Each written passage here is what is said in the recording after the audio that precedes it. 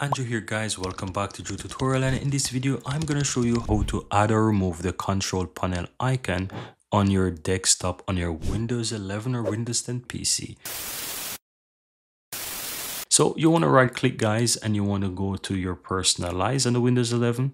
If you are not using Windows 11 and you're using Windows 10, click the display settings here once you click in display settings, you just need to click on personalization on the left hand side.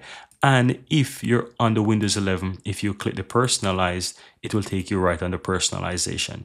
Now click on Themes and from here click on the desktop icon settings. Now this is going to pull up all those desktop icons that you can use and you will find the control panel. So as you can see, mine is unchecked, so I don't have it on my desktop. But if I want it, I can simply click on that, click on apply click on OK. Then when I close out, you will see that I have it there on my desktop. And that's it. If you no longer want it on your computer, you can simply go back to those personalized settings here.